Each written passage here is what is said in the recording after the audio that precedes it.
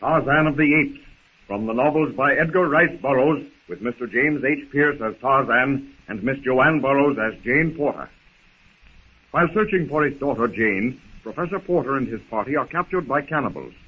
They establish themselves as miracle workers, however, by predicting rain. In gratitude, the cannibals offer them freedom. Jane Porter is being saved from the cannibals by Tarzan. To escape a tropical thunderstorm, they go to the hut by the river. While there, Tarzan digs out of his arrow case the famous Greystoke locket. Now, are you ready? Hold your breath.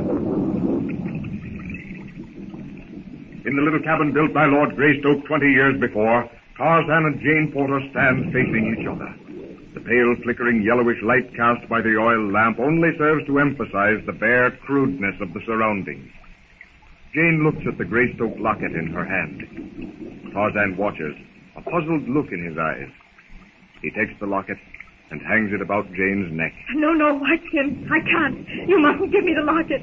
Jane, no like? It's not that, Whiteskin. But you don't know. You can't know what significance lies behind a woman's acceptance of this locket. I can't wear it.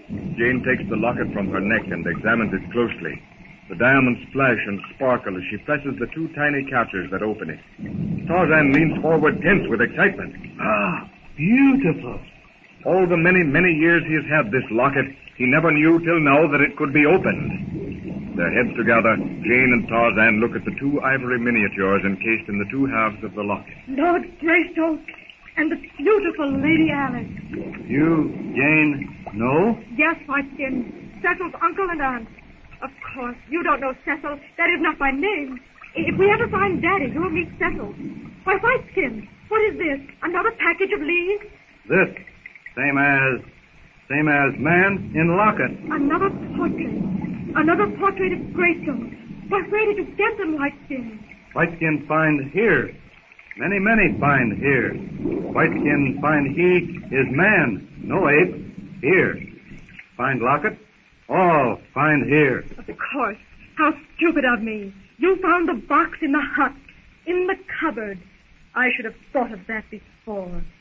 You know, there's quite a resemblance between you and this portrait. But of course, that's just imagination. What, Jane? Nothing, Whiteskin. I was just talking to myself again. Look, look. Rain stopped. Look. Yes, you're right. I'm glad, although for the moment I was so taken up with these that I hadn't noticed.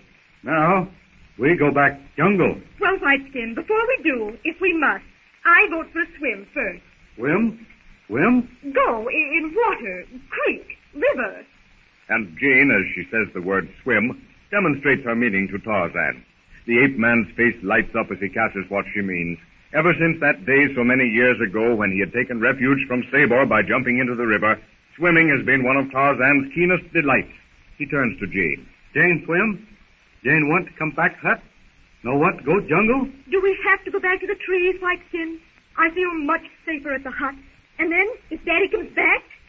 Why, what's that you've got, White Skin? This? White Skin make. Before day when Jane, father, many men come, White Skin hut. White Skin make. That printed warning. The warning we found on the hut door the day we landed. You, you wrote it? Then, but I don't understand. Mine. All mine. Hut, locket, all belong White Skin. but this warning is signed Tarzan of the Apes. How can you say this is yours? Tarzan of the Apes understands English, and, well, I've had to teach you. Oh, I don't know what to think. Tarzan. Tarzan of ape. Whiteskin. All same. Tarzan, whiteskin, same as. You, you, white skin, Tarzan of the Apes?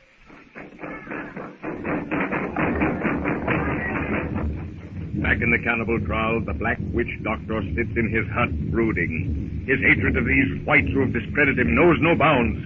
His twisted, misshapen body writhes and shakes with pent-up fury as his spies tell him of the white party's preparations to leave. I'm really quite worried about Clayton. D'Arnot, do you think his illness will hold us up? I think not. He has just a slight touch of fever. What Mr. Clayton needs is action. The strain of doing nothing, of waiting for something to happen, together with this feverish touch, have proved too much for him. Once we are on the move, he will rapidly recover. Uh, you don't uh, think then that there's anything really to worry about? I do not say that, monsieur. This African fever is a dangerous thing. Sometimes it kills almost without warning. Again, its slow ravages are, are of such a nature that nothing seems to cure or stop them. Is there anything at all that we can do? Get him into the hands of the ship's doctor as quickly as possible. That is the only thing I can suggest. Save him from as much excitement as possible. And, monsieur, contradict him as little as is possible. But, but come, let us finish our preparations and leave. I shall awake Monsieur Clayton. Uh, no need to, D'Arnot. I'm awake. The thought that we're leaving this place is like a tonic. I feel a little dizzy and lightheaded, but I'll be all right in a short time. As you see, monsieur, it is as I said. The quicker we get away, the better. Uh, uh, do you suppose the chief will permit us to take our arms? I, I frankly, I don't feel at home now unless I am carrying a rifle. So far, the chief has raised no objection. Uh, my men are getting everything ready now. And uh, have you given any thought as to what we shall do after leaving here? I continue our search for Jane, of course. Uh, oui, oui, Monsieur Clayton, I understand, but after all, the African jungle is a large territory. I should suggest yes, D'Arnot? that we go directly to the hut. The hut in the clearing. There is a possibility that we may come across the person Monsieur Philander believes is Tarzan of the Apes on our way there. And if not, what then? I would say that some of us remain at the hut, uh, await the arrival of the cruiser. You mean to look after me, D'Arnot? Oh, no. I'm going to search if I have to do it alone. Uh, but, my dear Monsieur Clayton... Man. How can you suggest such a thing? Don't you understand that I'm in love with Jane? Every minute she's alone in now, that jungle. now, now, Clayton, Clayton, we understand. D'Arnot merely meant that until you have recovered your strength, it, it would be better if you were in the hut instead of out in the jungle. Well, what can have happened now? Voila! Here comes Narquito! Uh, very much upset, too. Excited. One, I hope that if nothing else has happened to prevent our leaving this rotten hole. One, message, he come. White devil gun, white mem sab, go cave. What? What is that, D'Arnot? A messenger has just brought word that Tarzan and Mademoiselle Jane have been seen at the sacred cave, the mummy cave. But goodness gracious, what could they be doing there? Quant à moi, monsieur, I do not believe it. There is no thing at the cave that Tarzan of the apes could want. No, no, monsieur, it is a trick of that witch doctor. But if the witch doctor just wanted to trick us, he could have sent the message secretly. And anyway, we can't afford to ignore the message. The natives have taken it seriously. Look at them. The whole tribe is ready to leave. And that is just why I think it is a plot. The witch doctor could achieve three things by inventing such a lie. Three things, D'Arnot? Yes. Firstly, the air is taboo. If the natives think that Tarzan of the apes and Mademoiselle Jane have broken the taboo, they will kill them on sight. Great Scott, do you think that, D'Arnot? Yes, I do. And secondly, the witch doctor is so infuriated with us that nothing would suit him better than to lure us there and trap us. But, D'Arnot, we know the way out of the cave now. True, and our friend the witch doctor knows that we know it. But, but what good will that do him? He probably has some sort of surprise awaiting us. And then again, if he can put us out of the way, this time definitely, and do it in the cave, he reestablishes himself in their esteem. Then, then your advice is to ignore the message? It is. Oh, but, oh, dear, dear, we can't afford to ignore it. If we uh, didn't go, and it turned out that Jane was Well, there... I'm not going to ignore it. I'm going. I don't know what to say. I feel that D'Arnot's right, but then I agree with Archimedes. We must... I'm not going to wait any longer.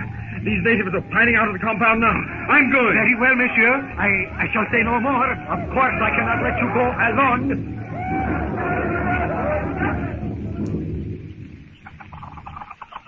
While Professor Porter and the white party hurry toward the cave, Jane and Tarzan make their way to the river. After that horrible cannibal village, the jungle is almost, almost peaceful.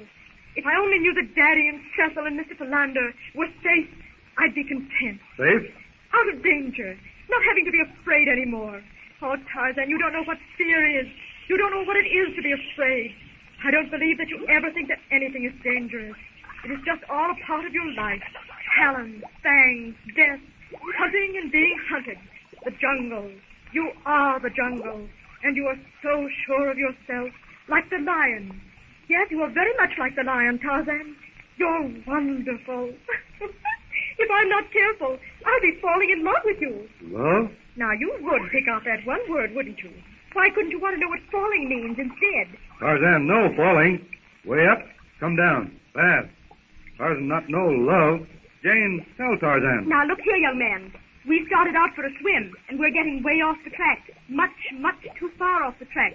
Now you swim here, and Jane go upstream a little way and swim. You understand? Tarzan, swim here. Tarzan, swim here. Love. And see that you do swim here. As Jane reaches the little pool surrounded by trees where she has swum before, she pauses a moment, standing on a log that projects out over the water. How quiet and lovely and peaceful.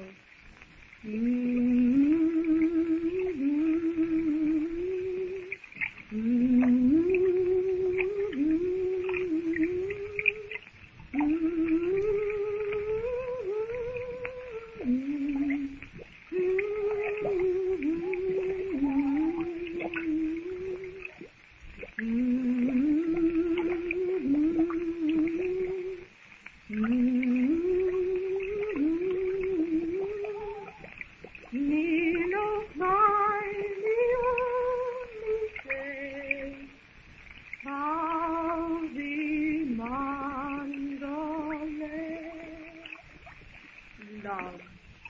learn, Tarzan. You won't need any teacher either. oh, oh! Her foot has slipped and she's fallen into the stream. And what is that on the other side of the pool? That long body streaking torpedo-like through the water straight toward Jane. She turns. She sees it. Gimla, the crocodile. She fights out for the shore. She's overhauling with terrific speed, but she'll make it. No, no, she won't. The bank is steep and slippery. She's part way out. She slips back into the dark water.